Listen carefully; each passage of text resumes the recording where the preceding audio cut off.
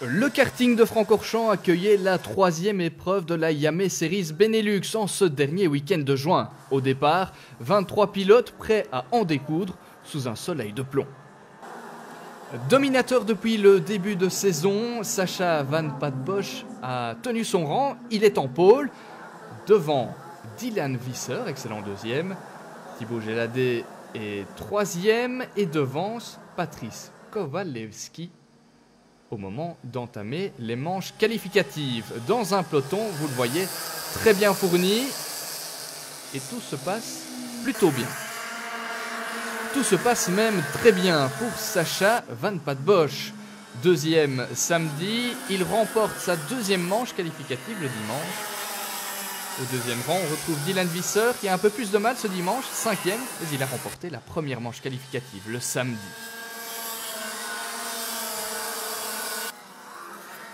Derrière, c'est très disputé et c'est Thibaut Geladé qui va s'adjuger la troisième place au classement intermédiaire.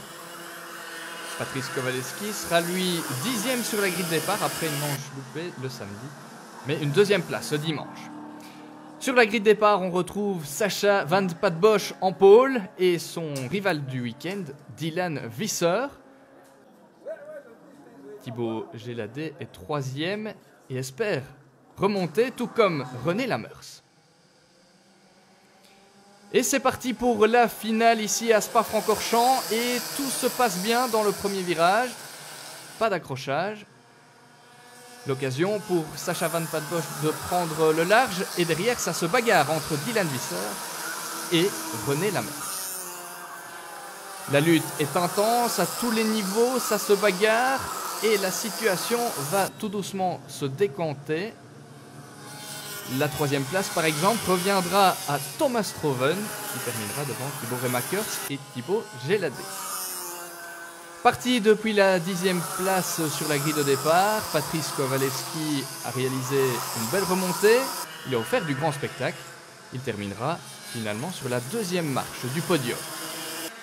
Et pendant ce temps-là, Sacha Van Patbosch ne se faisait pas prier pour remporter une nouvelle victoire en finale. Paulman, premier après les manches qualificatives et vainqueur de la finale avec plus de 5 secondes d'avance, le néerlandais n'a, il faut le dire, laissé que des miettes à ses adversaires. De finale vond ik echt uh, goed gaan. Bij de start reed ik meteen weg. Dus, en toen had ik 6 seconden voorsprong en, en toen bleef het daarmee. Dus, en toen was ik gewoon blij.